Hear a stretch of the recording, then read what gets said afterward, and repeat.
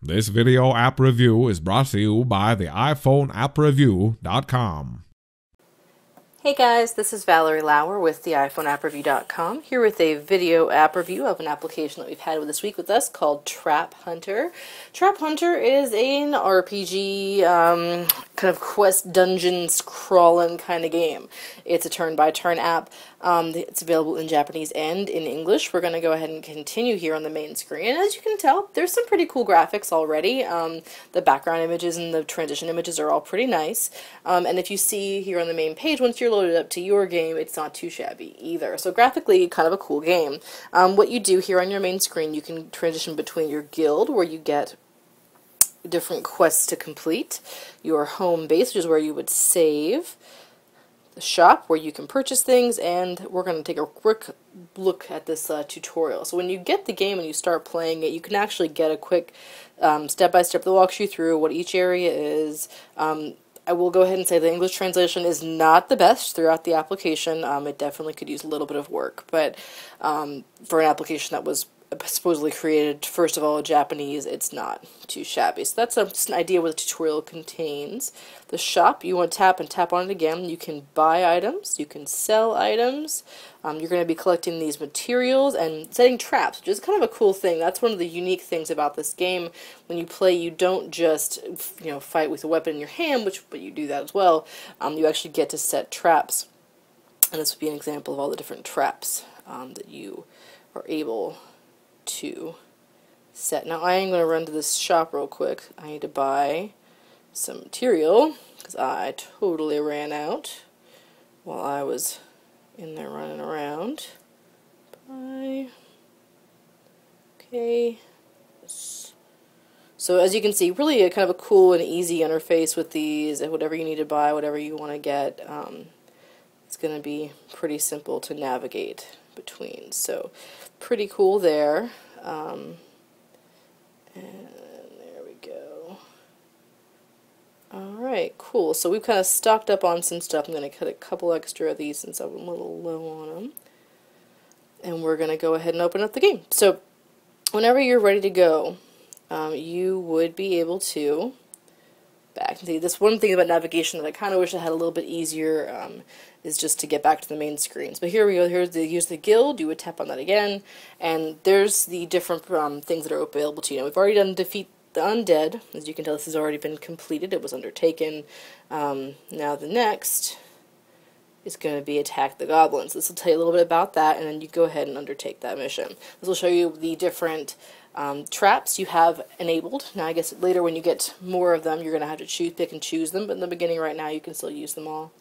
And this is how it would load. And there are a lot of load screens, but it's really a pretty fast game. Um, I haven't had any complaints about using it and playing it. You'll you know, kind of get the idea what you need to do here in the beginning.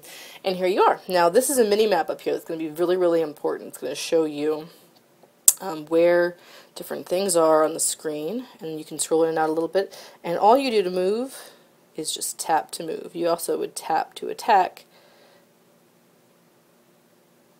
And in the beginning here, I'm not exactly showing you the best way to do this, but there are some really cool ways um, to use different attacks or different traps to get these bad boys. Now, anytime you get on top of something, you would just choose pick, and you would pick it right up. So let's go ahead and we'll find one more. There we go. This guy is here. So we're going to go ahead and tap on trap. Now there's a lot of different kinds of traps you can set. Now this is one of the interfaces that kind of annoys me. Um, you Again, you can scroll between them, but it's just not easy to get where you're going sometimes. Like, I want to get to that one. Well, there we go. It just kind of takes a while for some reason. Um, it'll show you what different um, of these elements you need to make it so two with the water, with the green, go ahead and apply. And there it is. So he runs on top of it, he gets speared, and it saves me the trouble of having to bludgeon him death with my uh, weapons. Anytime you want to, you can also access the main menu to view your items. You have potions you get, different gear you get. You also can go into your equipment at any time and see the other options you have to equip. Say if I wanted to equip this dagger for some reason because it would give me an extra defense point, I could. Um, you know, it'll kind of show you where your points are. So you do have attack and defense points.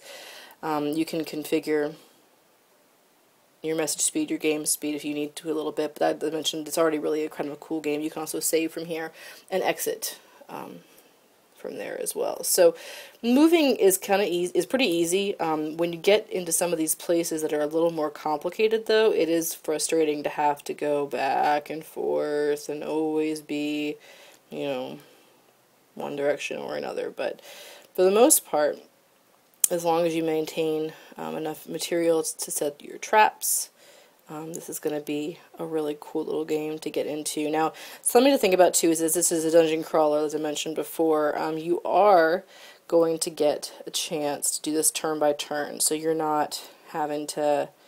Um, oh, sorry, I don't like that. You're not having to uh, stay on the same level all the time. You do get the you know, variety of going between levels. Um, one thing about that that's a little frustrating is that you don't always get um, to go back. So say you leave a, a level before you mean to, that's just kind of too bad. You have no way of getting back to where you went, where you came from before. If you accidentally go over the exit, um, then yeah, you do have an option. And as you can see here in these turns, it just gets a little, little clogged up, but not too bad. Um, pretty easy to, to traverse and pretty easy to get through these levels. Um, and a lot of fun to play, to be honest. I, I really thought didn't think this was going to be as much fun as it was. The trap idea, especially when you're fighting the bosses, is kind of cool because you do get different. Um, there's lots of different ways to get what you need to get. So there we go. Now we're on the next floor. Go ahead and say yes.